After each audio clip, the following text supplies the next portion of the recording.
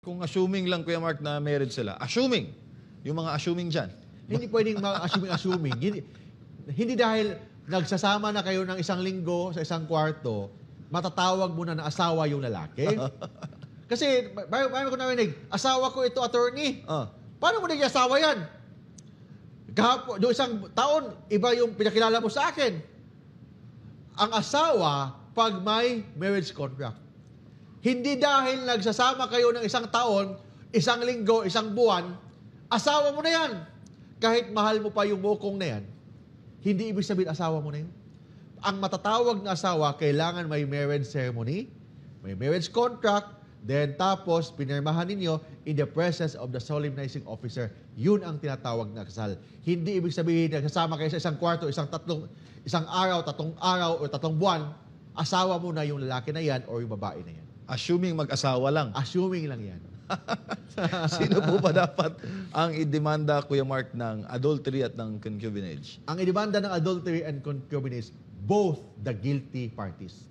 Ibig sabihin, hindi mo pwedeng idemanda lang ang kabit. Kailangan isama mo ang asawa mo. Pag mag-file ka ng, ng adultery or concubinage, ang idemanda mo, ang adulterous wife mo, kasama dapat ang kanyang paramour or kanyang kalaguyo. Kung idemanda mo ang unfaithful husband mo, kasama dapat ang kanyang concubine or kanyang kalaguyo. Hindi pwede dahil mahal na mahal mo yung asawa mo, ang idemanda mo ng adultery, yung kanyang kabit lang. Hindi pwede dahil mahal na mahal mo yung asawa mo, ang idemanda mo yung paramour lang or concubine lang. Madismiss ang kaso kasi sabi ng batas, both must be prosecuted. The unfaithful husband together with the concubine, the unfaithful wife together with the paramour, if both are alive. Pero pag patay na yung kabit, hindi mo na pwede idemanda dalawa. If both are alive, kailangan dalawa sila ang idemanda mo ng adultery or concubinage. Kasi nga, it takes two to tango, Kuya Mark. Hindi naman pwede mag, mag mangaliwa yung lalaki kung walang kinakaliwa. Di ba? Ha? Pwede, pwede, pwede, Ha? pwede. Hindi pwede mangaliwa yung babae kung walang kinaliwa. Wakali, wakali. Oo. O wala, wala siyang pinuntahan na nangangaliwa siya. Hindi pwede gano'n na sila mag-isa. Mm. It takes two to tango. So, ibig sabihin, both must be prosecuted if both are alive. Pero kung namatay na, for example, namatay na si ang asawa mo, hindi mo na pwede idemanda yun. Yung pwede mo idemanda, yung kaniyang kalaguyo na lang ang pwede mo idemanda ng adultery or concubinage. Naku po. Ah, dito pa tayo sa concubinage and adultery. Mamaya, meron pa tayong isang paksa, yung bigamy naman. Pero bago yan, Kuya Mark, may tanong si Carmen. Dahil kung sakaling mapatay mo ang iyong asawa na nahuli mo sa akto ng pangangalunya. Oh, grabe, pangangalunya. Sa iba, mananagot ka pa rin po ba sa batas? Sabi ng batas, for example, caught in the act. Hmm. Yung, yung asawa, nakapatong Oh, sa ibang lalaki. Caught in the act. Hubot-hubad.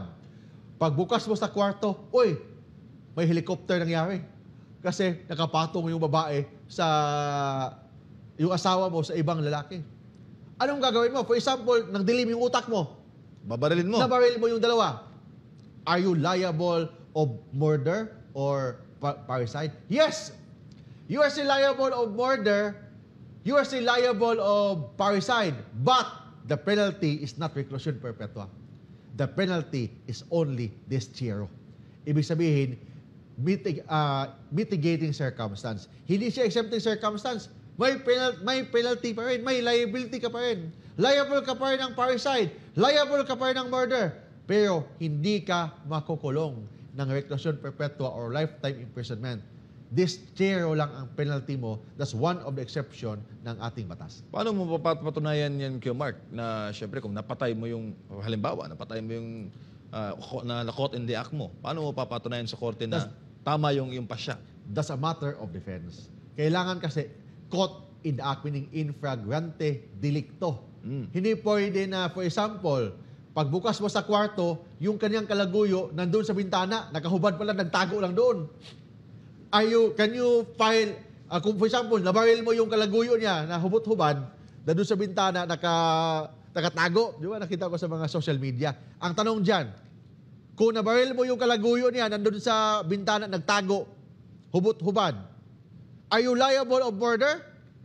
posible murder. Posible homicide. But ang tanong dyan, exempting circum, uh, mitigating circumstance ba yan na distiero? Hindi. Kasi sabi ng batas, under 247 ng Revised Penal Code, kailangan in flagrante delicto. Meaning, caught in the act of committing the crime. Nako. So, yun yan ang, ang matatawag na mitigating circumstance.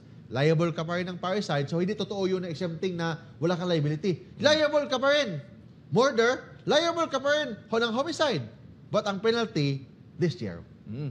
Siyempre, Kuya Mark, uh, kumbaga na, na, nababalitaan natin lagi yan na may mga ganon na meron ngang ah, mag-asawa na pinaano niya, pinasurveillance niya. At nang mahuli, yun nga nangyari, napatay niya Kuya Mark. O, napatay niya, nabaril niya, or kahit nasuntok niya, Mm. na nag-inflict siya ng serious physical injury, ang tanong dyan, ang tanong dyan, pwede ba pa rin ba siya mademanda? Yes, mademanda pa rin siya ng, ng parricide or murder. But of course, the penalty will only be this year.